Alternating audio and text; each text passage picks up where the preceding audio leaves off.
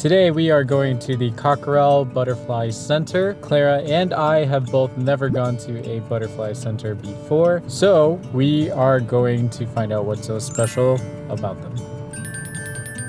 As we approached the center, we wondered, how many butterflies are there? Are we going to be surrounded by them, or will they all be fluttering at a distance? The more we wondered, the more curious we became. So the way that you get into the Butterfly Center is through time slots, and we didn't realize that. Right now it is 11:40, and our time slot is at 1:30. So first, we're gonna go get lunch. And now we're back. The first area felt really childish at first with large shiny plastic models of bugs and big fun fonts showcasing bugs through screens about waist high. But when we looked around a little more, it actually became more fascinating. Butterflies were hatching out of their cocoons. Beetles were on display. And the two walls of butterflies and moths showcased only a sliver of the wide varieties of colors and shapes they have. But then it was finally time to go into the butterfly center. When we first went into the butterfly area, we were actually hit with a ton of humidity and heat. It was almost unbearable at first. How do you feel? Freaking hot. It's a sauna in here. but then we made our way to the much cooler downstairs, and that's when it all happened.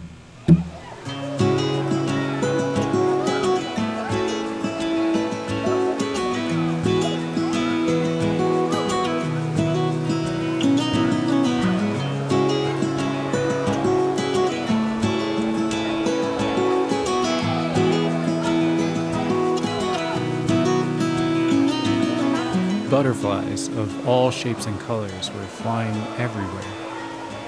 Flowers and fruits decorated the plants like ornaments on Christmas trees.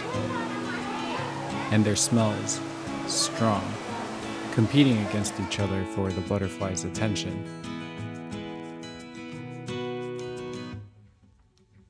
The butterflies were not shy at all. Their wings would sometimes slap against you, they landed on my hat a few times, and I even got this quick shot of one on a kid's head. We probably spent a good two hours walking around here, but before we left, we decided to try and do one last thing. We wanted to see if one would get on Clara's hand. it took a little while, and in the meantime, we saw a turtle and we were able to get some shots of some of the butterflies that were really camera shy at the beginning, like this green one and this translucent one.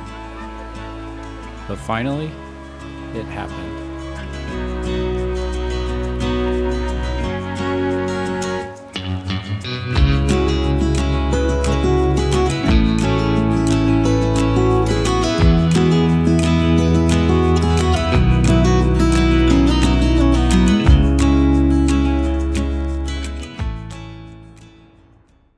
Was our trip to the Cockrell Butterfly Center. If I were to rate my experience, I would give it an 8 out of 10. It was fun. I'd never seen butterflies flying around like that. I'm sure there are probably bigger and better ones out there, but this was my first. The only slight negative I would say was that there were a lot of kids there they came in in like huge groups of like 15 to 20 at a time and sometimes they take up this whole area. But it wasn't all that bad because even when they took up the whole area, they would be gone in like five minutes. Of course, another wave would eventually come in, but in all honesty, it's a museum, so you gotta expect that. I think that that's why they have those time slots. That way it doesn't get too crazy.